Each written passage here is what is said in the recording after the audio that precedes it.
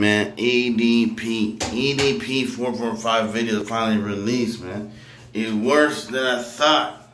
Uh, Red Screen too, but that's a different story. Red Screen is also creeping onto the children, man. We told you about that.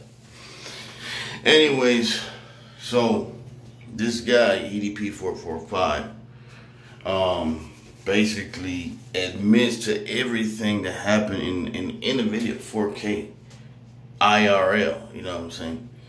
4K IRL caught by the Jolly Green Giant, some other dude in a mask. So, uh, it's like, he's like, yeah, those are my tags. Don't call the cops. And then I don't know what happens. Where's, where's the rest of the video? Like, do the end? Of, is he in jail? Like, where is EDP right now? The last video he uploaded is a, a week a week ago on some bullshit uh, football thing.